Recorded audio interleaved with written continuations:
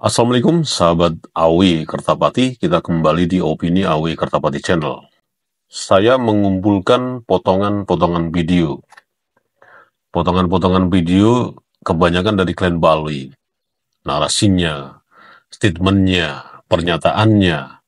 Kemudian ada juga potongan-potongan video dari para tokoh-tokoh sentral yang akhir-akhir ini terus bermunculan dari uh, mulai Gus Puat Pleret, kemudian Gus Pake, Kiai Haji Nur Iya, uh, Dr. Manakem Ali, kemudian uh, muncul Gus Abbas untuk Cirebon, ada juga yang terakhir ini Bang Haji Romai Rama dan juga Bapak Mahfud MD. Ada juga dari parlemen, dari fraksi Partai Demokrat, Ibu Irma Suryani. Tapi coba kita dengar dulu satu persatu potongan-potongan video ini. Ini mudah-mudahan bisa apa ya, bisa mengingat mengingat kembali bagaimana kita bersikap mengenai uh, polemik nasab palsu klan Alwi ini. Artinya mereka kan selalu saja bernarasi, berargumentasi, bahwa gara-gara tesis Kiai Haji umat jadi terpecah belah. Umat Islam ini uh, diadu domba. Terjadi perselisihan antara ulama dan habaib. Akhirnya mereka tidak harmonis. Yang selama ini sudah tercipta kondisi yang kondusif. Itu kan selalu saja dibangun narasi-narasi itu seolah-olah akhirnya kita yang salah. Seolah-olah Gus Fuad Pleret dan tokoh-tokoh yang lain itu yang keliru. Nah, kalau kita dengan uh, akal yang waras, otak yang encer, ya, tidak pakai dengkul, diamati, dipelajari, ya tentu saja otak kita tidak akan berpikir seperti narasi-narasi yang dibangun oleh klan Baalwi. Ya kan? Tentu saja. Tapi oke okay lah. E, kali ini saya akan terus mungkin di beberapa saat yang akan datang mempublish video-video potongan entah itu dari klan Pak Alwi atau dari tokoh-tokoh sentral para pejuang yang selalu menyuarakan nasabnya palsu klan Bali dan selalu melawan hegemoni klan Balawi peruk-peruk jancuk dari Yaman ini. Yang pertama dari Bang Haji Roma Irama. Kita dengarkan. Jangan terprovokasi sehingga yang berantem nanti masing-masing pribumi. Ya. Lawan perang ini hati-hati. Ntar kita berantem dia pada ngompat. Hmm. Betul, betul, betul, Pak. Betul. Betul, Bang Haji. Yang berkelahi pada ini lolo nih. Ya. Dia di mana nanti? Dia nonton. Makanya hati-hati. Jangan terprovokasi. Saya udah bilang di podcast saya kemarin, Beb, hati-hati, Beb. Jangan nanti provokasi umat. Eh, ganti. Baru domba umat. Nah, terus di mana letak uh, provokasi atau adu domba yang dimaksud oleh Bang Haji Roma Irama? Di mana letaknya? Atau narasinya yang secara detail yang dimaksud oleh Bang Haji Rumai Rama ini di mana? Ya di pernyataan awal saya tadi. Narasi-narasi yang dibangun oleh klan Ba'alawi mengenai tesis Kiai Haji Maduddin ini memecah belah umat. Ini fitnah akhir bulan. Ini dakjal ini mengadu domba. Justru itulah yang dipakai ya oleh klan Mbak Alwi melalui mukibul mukibul mukibin mukibin entah itu rakyat biasa entah itu uh, ulama entah itu ustadz yang pro Balawi itu selalu mengatakan seperti itu. Nah ada tambahannya narasinya apa tambahannya? Kalau anda bukan ahli nasab, kenapa ngurusi repot-repot ngurusin nasab orang. harusnya Anda tidak berbicara mengenai nasab. Biarlah ahli nasab yang berbicara. Sementara klien Balawi sendiri tidak pernah me, apa namanya menyuguhkan seorang yang betul-betul terverifikasi sebagai ahli nasab yang seperti apa. Dan selalu aja ditambahin dengan ahli ini adalah nakobah internasional. Sementara kita juga nggak tahu uh, CEO-nya itu kita nggak tahu seperti apa gitu loh. Atau uh, apa ya saya lupa ya. Pokoknya referensi yang menguatkan bahwa orang-orang yang ditarik dari dataran Arab dengan jubah dengan imamah ya biar keren ya biar dianggap itu sebagai seorang yang suci dan mulia dan itu diklaim sebagai ahli narkoba kita juga nggak tahu bagaimana latar belakang pendidikannya ya? bagaimana riwayat uh, keahliannya itu yang benar-benar terverifikasi itu juga kita tidak pernah tahu hanya melalui lisan tapi ya itulah Klan Bali yang selalu saja merasa paling pintar, gleling gitu loh. Coro Jawa ini gleling gitu, kemaki gitu loh. Bahwa masyarakat Indonesia ini dianggap goblok semua. Itu kan yang terjadi. Ya silahkan aja. Silahkan saja klan Balawi terus saja membuat eh, narasi-narasi uh, argumentasi bahwa masyarakat Indonesia ini goblok semua. Terus saja habisin tuh narasi. Lu. Itu tadi potongan pendek video dari Bang Haji Romerama. Mudah-mudahan Anda paham maksudnya dan bagaimana Anda akhirnya bersikap nextnya gitu loh. Yang berikutnya dari Mugibul Mugibin Palwi yang lagi dicari sebetulnya ini. Tapi masih dalam proses mengidentifikasi i orang ini dari mana dan nanti akan didatangi orang ini.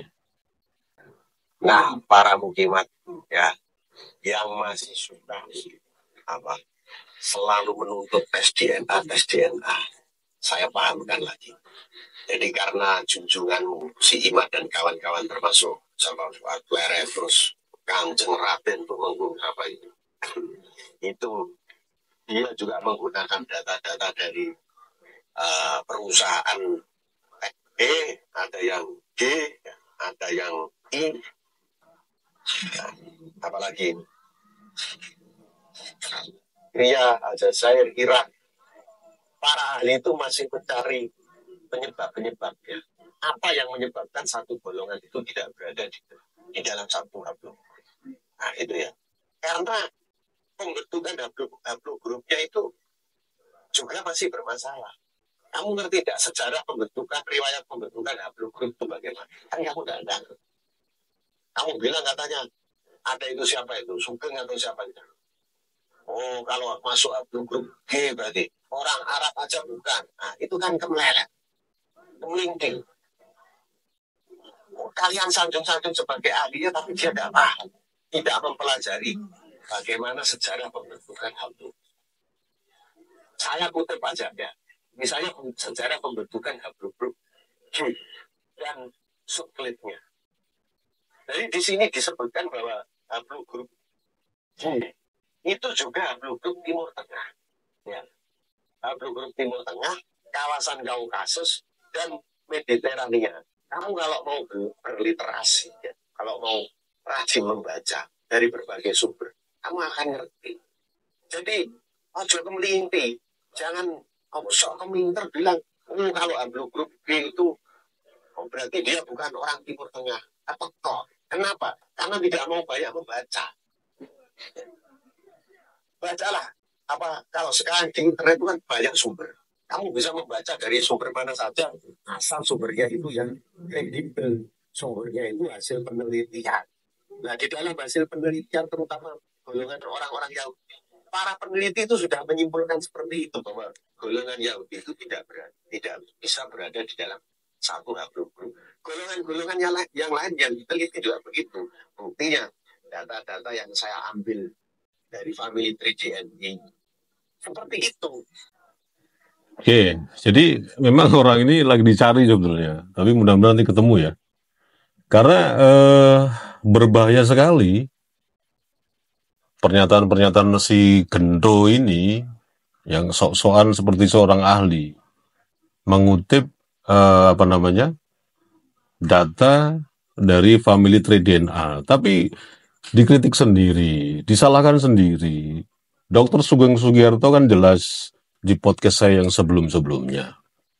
Bagaimana proses haplogroup itu terbentuk.